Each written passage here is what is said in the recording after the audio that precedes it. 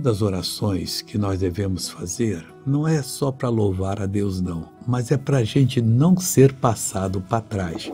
Porque o que tem de gente mentirosa no mundo não é brincadeira. O salmista que escreveu o Salmo 120 diz assim: Senhor, livra a minha alma dos lábios mentirosos. As pessoas que só falam engano.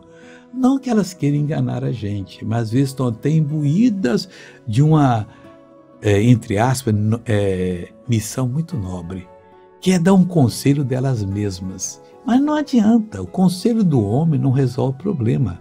O único conselho que resolve o problema é aquele que nós falamos quando estamos ungidos falando da palavra de Deus. Olha, é no revelar da verdade que nós somos libertados. Jesus já falou isso. Então, o que, que nós devemos fazer? Pedir a Deus que livre a gente dos lados mentirosos que vem com, com conselhos que não são bons e da língua enganadora, doutrina do homem. Isso não resolve nada. Veja essa pessoa que foi abençoada, eu já volto. Há quanto tempo só teve o derrame? Dois anos. Só levantava até onde? Só que levanta ali agora.